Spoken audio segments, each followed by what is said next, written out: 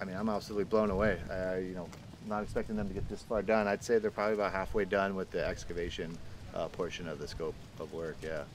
So yeah, it's looking real good. Looking like um, we'll be done ahead of schedule. Which was when?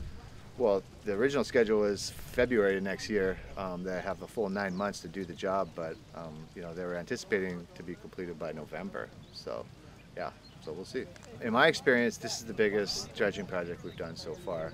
Uh, this was 42,000 cubic yards, and I think the next biggest one we've done recently um, under my watch would be at Wailoa in Hilo, and that was 24,000. So yeah, it's definitely the biggest one so far.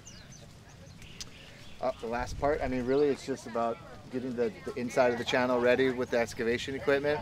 And then uh, once they've got that prepped, they're going to bring in the crane. And then the crane's going to take away the rest of the material that's on the ocean side. And then that'll open up the boat ramp. Now, at the ocean entrance, that's all sand and boulder there. Will you have to put some walls in to stabilize it on that side at all? Or? Yeah, we we didn't have enough funding to do that. So what we did instead was the approach was to do a very wide channel, that way you have a big wide open channel um, instead of a narrower channel with protected structures on either side. Uh, I believe the entrance will be 300 feet wide. Um, and before, there really wasn't a channel before, it was just an open bay, but the designated channel I think was 40 feet. Yeah.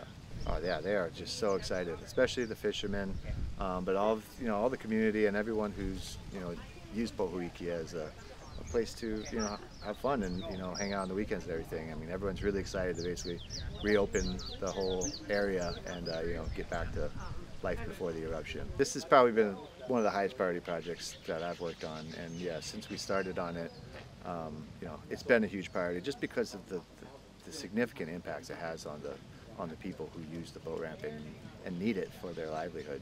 Yeah, we know just from experience that it, it's about every seven to eight years uh, is the dredging cycle, yeah, for Wailoa.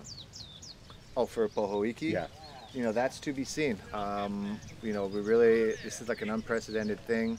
It's not like fine sediment that you get, um, uh, like sand and silt that you get for normal dredging projects. It's got a lot of heavy material.